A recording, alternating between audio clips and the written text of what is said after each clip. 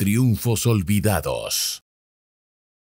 El impacto que tuvo la imprenta en Panamá, incluso ellos tenían un suplemento. Y después de las primeras impresiones de la miscelánea del Istmo, también se sacó o se imprimió la Gaceta del Istmo de Panamá. La miscelánea del Istmo tiene su importancia porque trataba los asuntos políticos.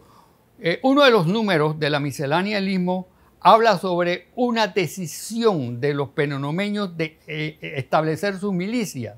Eh, la miscelánea estaba contextualizada con el principio de lograr llevar a la sociedad panameña los principios de libertad. ¿Cuáles son?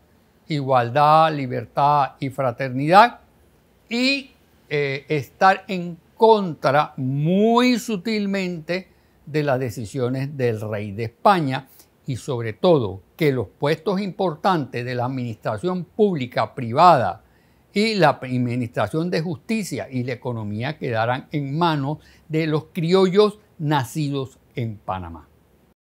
Triunfos olvidados.